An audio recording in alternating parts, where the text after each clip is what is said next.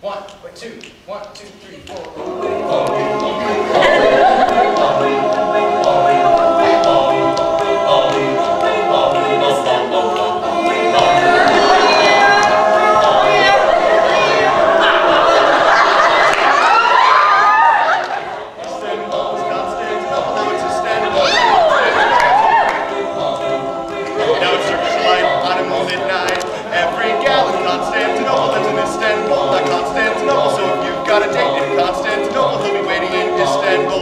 even old New York was once New Amsterdam. Why they changed it, I can't say. So.